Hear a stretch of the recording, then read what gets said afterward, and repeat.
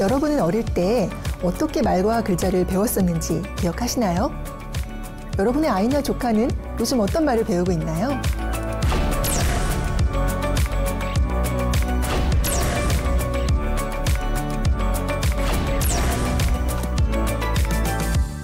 만약 영화의 말이 늦거나 유아의 발음이 안 좋거나 아동이 대화를 잘 하지 못한다면 어떻게 해야 할까요?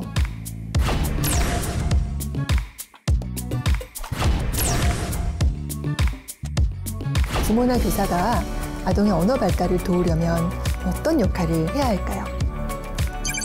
바로 이런 내용을 오늘의 이야기를 통해서 들어보시죠.